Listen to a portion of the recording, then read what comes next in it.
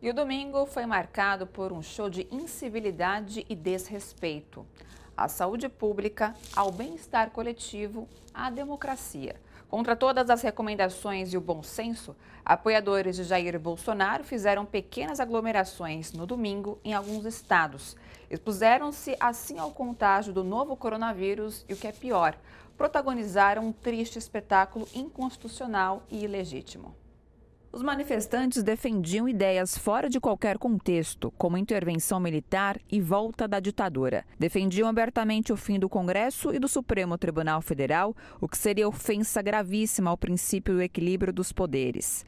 E como tudo que está ruim ainda pode piorar, Jair Bolsonaro deu sua contribuição pessoal ao participar da manifestação em Brasília, cumprimentar apoiadores, tirar selfie, entre outras coisas. Contrariou assim recomendação da Organização Mundial da Saúde e do próprio Ministério da Saúde, tentando de novo minimizar a relevância da pandemia.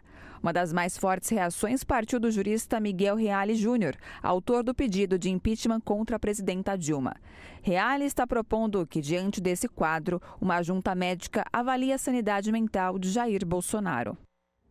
O atual presidente da República do Brasil enviou pelo WhatsApp uma mensagem de áudio em que parabeniza os apoiadores de Volta Redonda, no Rio de Janeiro, que foram às ruas no domingo. A cidade tem um caso suspeito e a prefeitura havia pedido suspensão de eventos com aglomerações. No áudio, no áudio obtido pelo site Intercept, Bolsonaro parabeniza quem está na rua por um Brasil melhor e insiste no argumento de que, embora peçam intervenção militar e a volta da ditadura, atos como o de ontem são a favor do Brasil. Hoje, ao tentar justificar suas atitudes do domingo, Bolsonaro disse que não tem poder de impedir o povo de fazer nada.